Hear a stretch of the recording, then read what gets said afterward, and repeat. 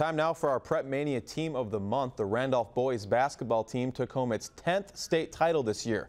Emily Cumlin has a look back at one of the state's most decorated programs.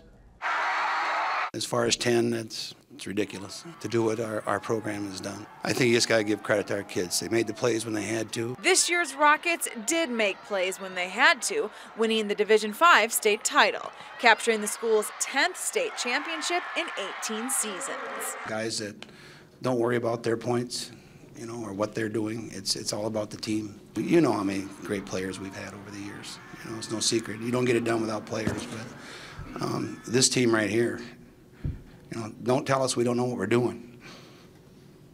Because we squeezed another one out of them. So. The Rockets faced adversity this year. Back in February, they had its 175 game conference winning streak snapped that dated all the way back to January of 2001. They lifted weight off our shoulders, and we knew that we could just play basketball the way how we want to play, not, not worry if we lost. It's just a loss, not worrying about the streak anymore. After the loss, the team rattled off seven wins in a row to take home state gold. I think this, what this team started the year and what we went through, it's improbable. I thought that they would win it. But I said, and maybe I told my wife only, but um, just had a feeling. Somehow they're going to get it done. Reporting Emily Cumlin, News 3 Sports.